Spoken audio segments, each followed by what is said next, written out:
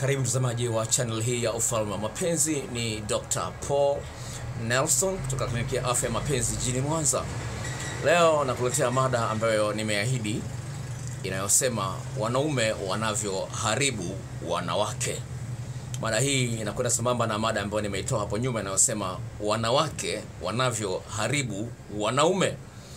Kwa hiyo leo ni zamu ya wanaume, jinsi gani wanaume wanaharibu wanawake. Hiyo ni mada ambayo ninayo siku hii ya leo.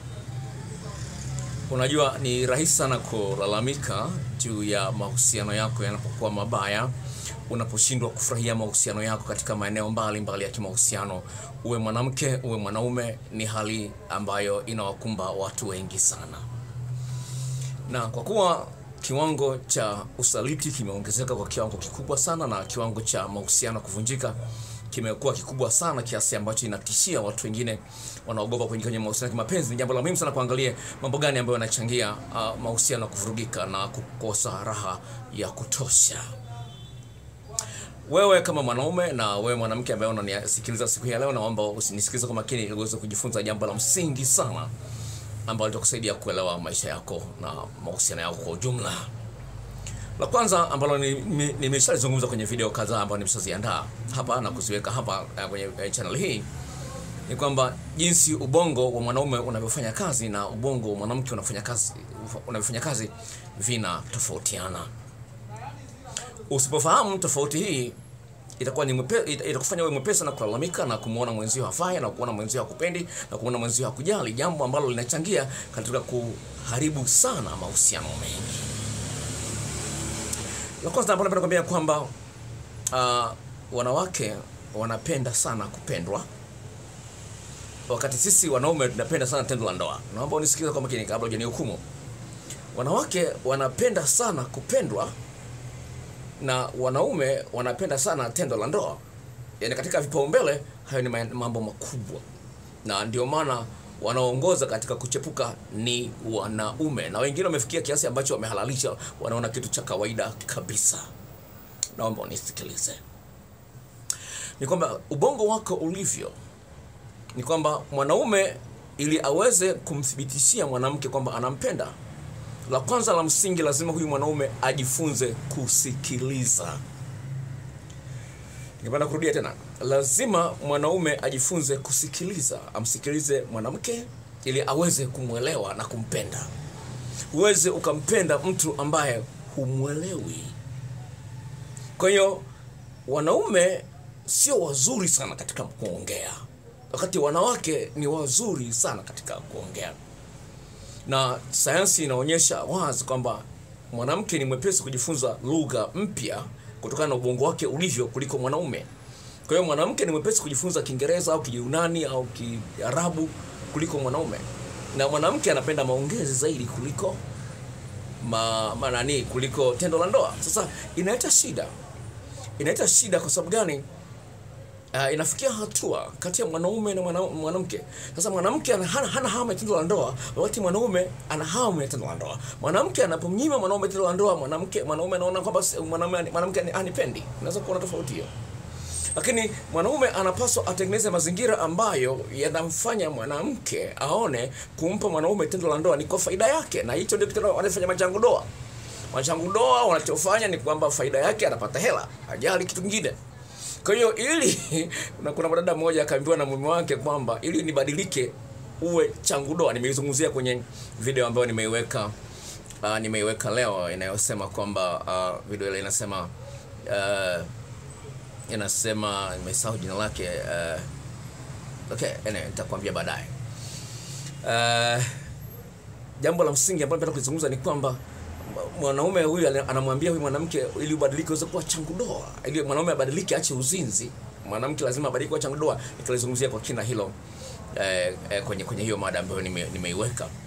Anyway, cha msingi ambacho nimekuzungumza ni hivi, ili mwanaume aweze kumthibitishia kwamba mwanamke anampenda, lazima awe msikilizaji, asikilize na heshimu maoni ya mwanamke. Sasa akili yetu sisi wanaume imeumbwa kihesabu hesabu inapangilia mambo inakwenda hivi na hivi na nini, yani inataka mambo ambayo yako kwenye mstari ulionyoka. Lakini mwanamke anaweza kuletea kitu kimepindapinda, lazima ukielewe jinsi gani kukinyosha. sawa mwanamke anakuletea kitu kimepinda pinda lakini lazima, umsikilize. Ili umwelewe japokuwa kimepinda kwa sababu unampenda lazima ufanye jitihada za makusudi. Kumuelewa badala ya kumhukumu kwamba "Ah, huyu naye amezidi. Unaona? Ni hivi na kwa sababu nasoma sana biblia na naipenda sana biblia nampenda sana mungu wangu kuna mstari mmoja kwenye kitabu cha uh, waraka wa waraka wa kwanza wa petro sura ile ya, tano kama sikosei mstari kama sikosei wa nane au something like that. Nasema hivi asema be self-controlled and alert because your enemy the devil goes around like a rolling lion looking for someone to devour. Kwa kiswahili nasema hivi asema kwa sababu biblia anasema hivi muwe na uwezo wa kujitawala na muwe macho. Kwa maana adui yenu ibilisi anazunguka huku na huku kama simba akitafuta mtu wa kumrarua. Kwa hiyo upo muhimu wa kuwa na self control wa kujitawala. Sasa usipokuwa na gia ya kuweza kujitawala hisia zako unapoona mwanamke anaongea sana tayari utamkatisha. Anashindwa kuongea yote aliyonayo hivyo utashindwa kumwelewa nimewekea wekea wanawake kwenye video yao ile ya, ya wanaume wanavyoharibu wana, wana, wanawake wanavyoharibu wanaume. Nikasengeza mwanaume anapokuambia anapokuuliza vipi kuna nini? Mbona kuna nini? Naona badilika mwanamke anasema, anasema hamna kitu.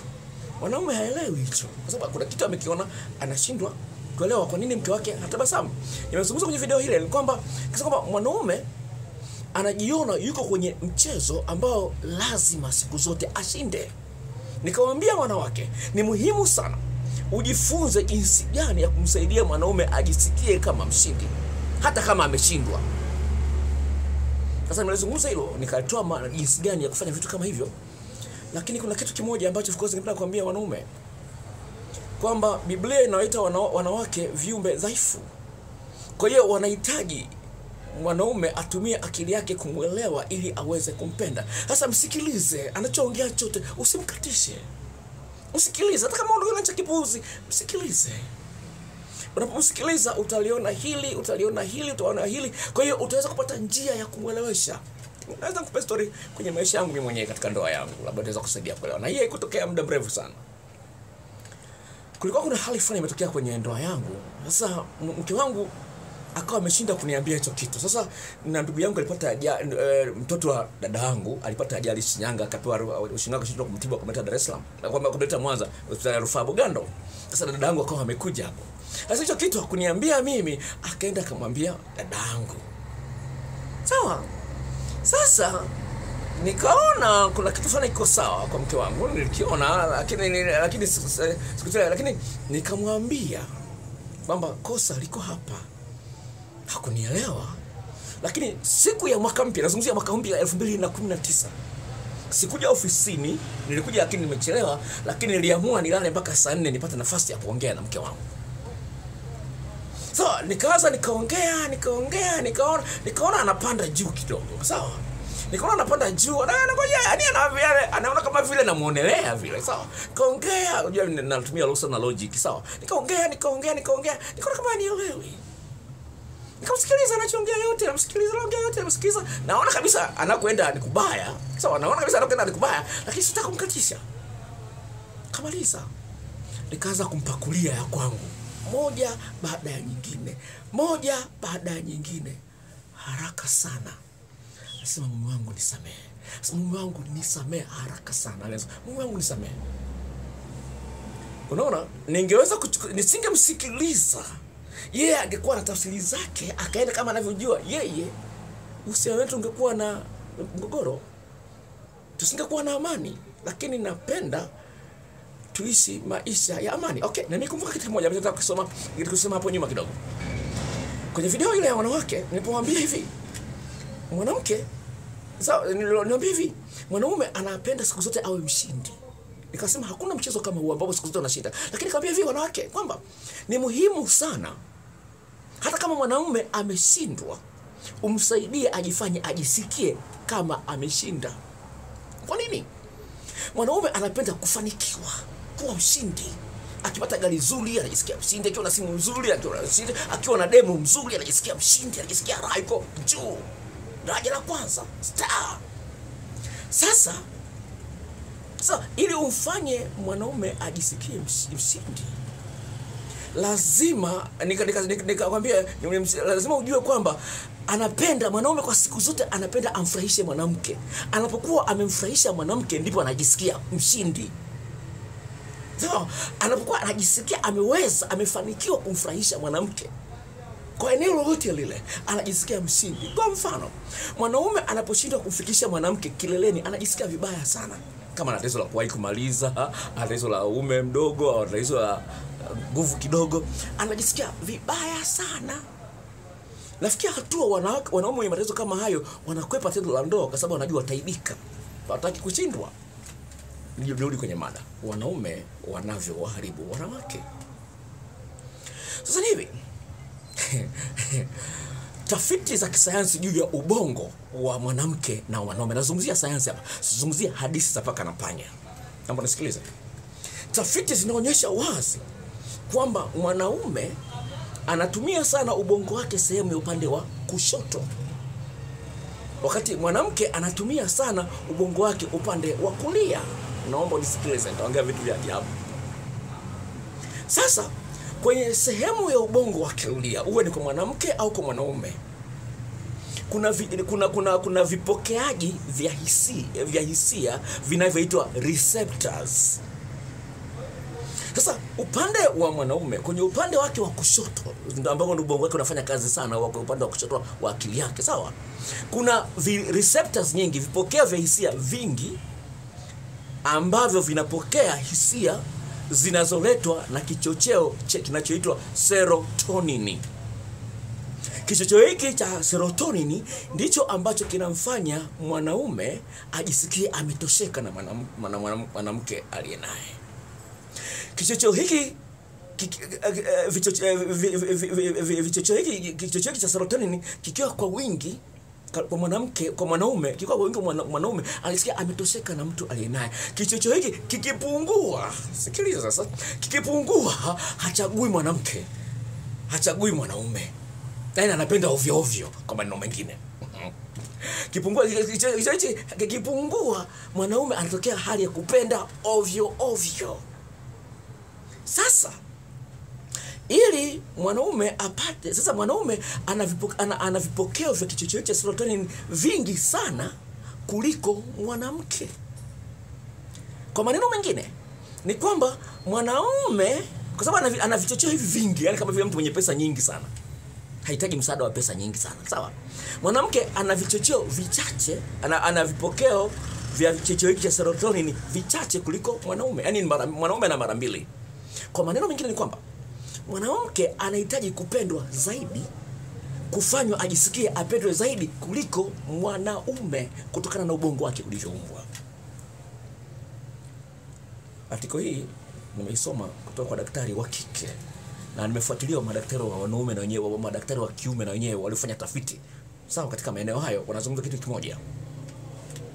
Sasa anasema hivi pale ambapo wanaume wanasema kwamba wanasayansi wengine wanasema kwamba wanawake hawapendi tendo la ndoa, wanaopenda tendo la ndoa ni wanaume. Anasema si kweli. Naomba nisikilize. Kwamba itakuwa tamu kweli. Anasema sio kweli kwamba wanawake hawapendi tendo la ndoa. Wanawake wanapenda tendo la ndoa zaidi kuliko wanaume, lakini lazima watengenezewe mazingira mazuri ya wao kupenda tendo la ndoa ili wapende. Hawapendi ovyo ovyo tendo la ndoa lazima yawepo mazingira mazuri ya mwanamke kujisikia anapendwa ili apende tendo la ndoa. Sasa iwapo msikilizi, iwapo umwelewe, unamkatisha mwanamke anaojisikia anajisikia apendwi. Mwanaume anarudi kutoka kazini, sawa anarudi kutoka kazini, akifika nyumbani amechoka, sawa, ayuko hataki kuongea na mwanamke, yuko bize na simu au yuko bize anaangalia TV au anasoma gazeti, hata hawezi akaongea na mwanamke. Sasa mwanamke anajisikia naboa, hivi mimi naboa. Kwa nini mume wangu hapendi kuongea na mimi? Kwa nini mume wangu hapendi kutoka na mimi? Kwa nini mume wangu hapendi kunipa zawadi? Hivi mimi niko ananionaje? Nikaongea na naongea na rafiki yangu mmoja. Nikaongea na rafiki yangu mmoja nimezungumza kwenye video fulani iko Moshi. Nikamwambia hivi, mara ya mwisho mume wako amekwambia nakupenda lini? Akasema ah, sijui, ni zamani sana. Nikamwambia jabisha kumwambia, mkumbushe leo. Sasa mume wake anafanya kazi benki.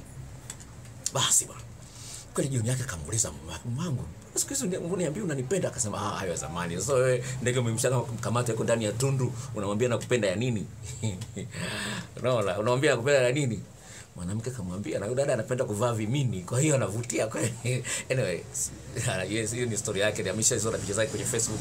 Anapenda kuvaa vimini na miguu mizuri kweli. Anyway hiyo ni story nyingine. Basi akamwambiaje mume wake. Kama wewe zamani kwanza ulikuwa unanipenda kuniambia unanipenda na ulikuwa unanipakata hata tukikaa kwenye kochi unanipakata. Siku hizo umeacha. Akasema sitakwambiaje nakupenda wakati unajua ni hujui nakupenda. Akasema ungejua ni wanaume wangapi wananiambia kwamba wananipenda huko ofisini. Usingesema hilo. Ningependa kusikia kwamba unanipenda.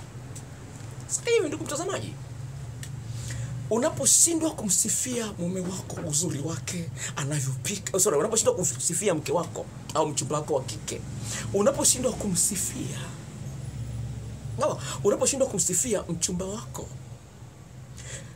anashindwa kujisikia ni mtoshelevu kwako.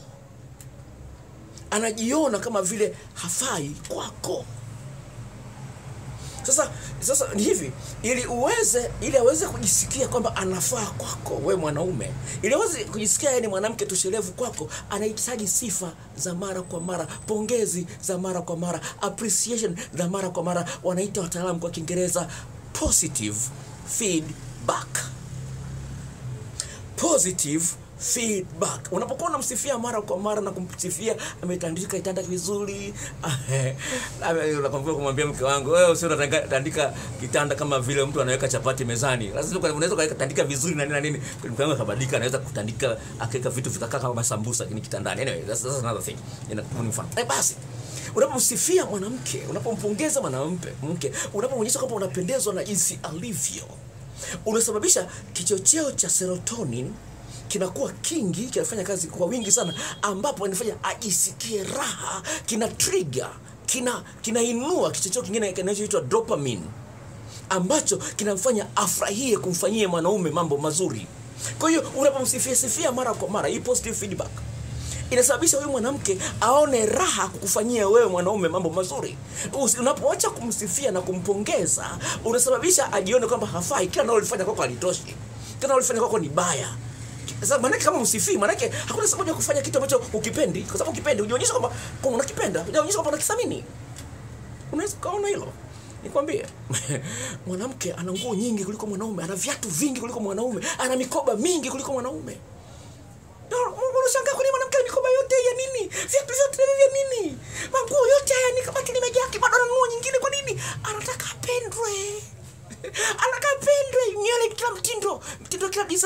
kama majongo vingine kama vitunguu. Nywele mitindo mbalimbali anaweka. Kwa nini anaweka? Anataka apendwe. Anapenda asifiwe. Ajione anapendeza. Yuko kwenye mashindano. No, yuko kwenye mashindano. Anahitaji hivyo vitu. Usione kama ni vitu vya kitoto anahitaji kusipata positive feedback anapata sifa kutoka kwa mume wake. Kwa tendo la ndoa amekunyonya vizuri. Mwambie amenyonya eh, vizuri kuliko jana. Nyase, vitu kama hivyo. Mwambie amekulambalamba vizuri. Mwambie leo umenilamba vizuri kweli. Eh, na yeye alivyonyonya chuchu zangu leo nimesikia utamu kweli. Vitu kama hivyo. Atakulamba kwenye miguu. Ndio atakula na nyege zitaongezeka. Unasema mke wangu ana nyege, mke wangu ana nyege. Ujui kumtengenezea mazingira kupata nyege.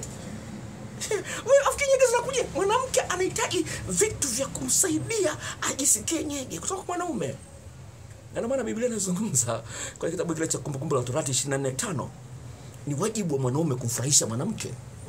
Sasa unafanya mambo juu juu tu tena una- unawahi kupizi, alafu nini na nini mambo mengine hata kumsifia utaki. Ana uoo kubwa msifie, ana matiti msifie. Eh? hivyo ni vitu. Unajua wanaume kwa mfano eh, sawa hizo wanaume akishamaliza raundi ya kwanza ataka raundi ya pili kimshinda anajisikia vibaya ujinga. Kile una, kile kipindi nimezungumza kwenye mada fulani kinaitwa refractory, uh, refractory period. Kipindi cha mapumziko madogo. Sawa mwisho mwisho mapumziko madogo kipindi kile unaweza kumlambalamba na kumsifia sifia na kumnyonya nyonya vizuri na kumbusubusu sana. Na video zile za jinsi ya kumnogesha mwanamke kitandani zile video zinakupa maelekezo ya mambo mbalimbali na jaridi ambalo nimeliandaa jinsi ya kumnogesha mwanamke mpaka akajisikia raha eh, yale maeneo kumi na nne katika mwili wake, jinsi ya kuyashikashika na kumnyamonyamwonya wapi ulambe uguse ufanye nini. Hilo jarida nikutumia, naweza kutumia hata kwenye WhatsApp, gharama yake shilingi elfu kumi tu, shule inauzwa baba, Anyway, na- na- na- na- na- inakupa tu kama kama kama kama, kama vionjo. Kwa ni mambo ambayo unapaswa uangalie jinsi gani unamjali mwanamke. Sasa mwanamke, eneo ile ambalo ni gumu, unasema wanawake wanapenda pesa, wanawake wanapenda pesa. Listen. Hmm. Naomba unisikilize. Naomba unisikilize. Oh, wanawake wanapenda pesa, siku hizi nini? Wanawake siku hizi mapenzi, biashara, sijui nini nini. Wanaume wengi wanalalamika, wanaume wengi wanalalamika. Hivi mwanamke ameumbwa na ubongo ambao siku zote utamtegemea mwanaume na hata kama ana kazi sawa, hata kama ana kazi bado anahitaji kuona hela ya mwanaume inatumika kwa ajili yake. Ndivyo akili yake ilivyoumbwa. sawa, ndio kuna wengine wanapitiliza, sawa, najua kuna wanawake wengine wanapitiliza katika kutaka pesa, wanapitiliza, sawa, lakini cha msingi ambacho napenda nikwambie, ni muhimu sana umjali mkeo katika matumizi, katika mahitaji yake. Pale ambapo huna pesa, mweleze. Sasa ningependa kuonya, na- na- nawaandalia wanawake mada, sawa. Wanawake wanavyojiharibia wenyewe kwenye eneo hili la pesa, nitalizungumzia vile vile.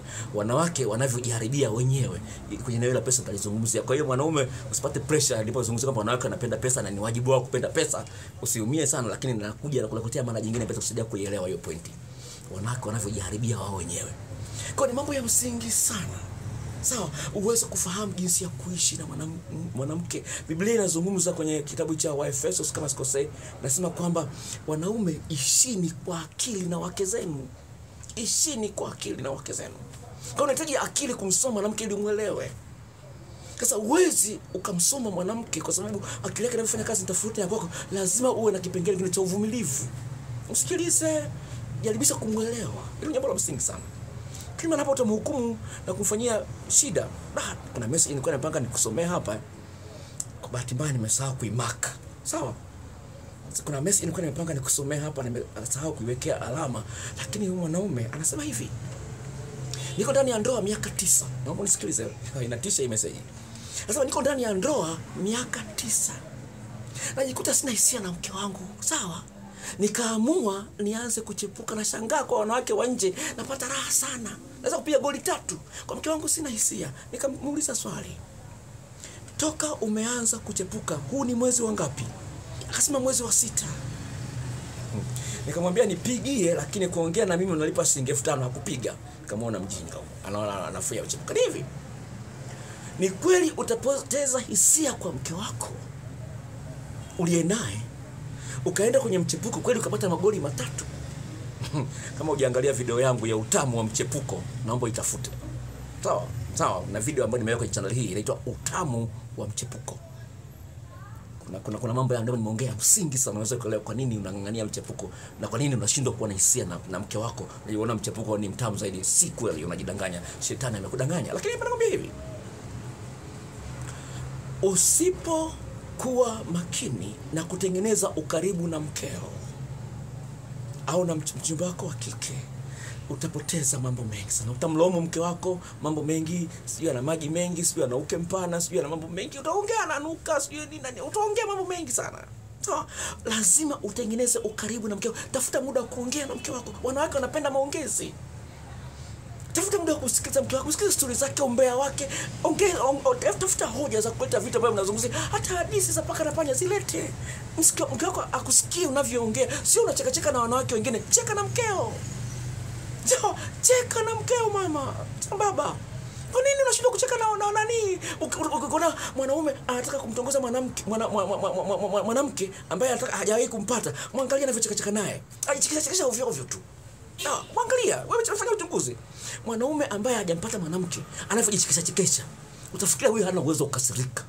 Hata hata kiongelea kwenye simu unaona ana tu ana uso wake unachukua kucheka cheka tu. Kwa nini unashindwa kucheka na mke wako? Acheni ujinga wanaume, acheni ujinga.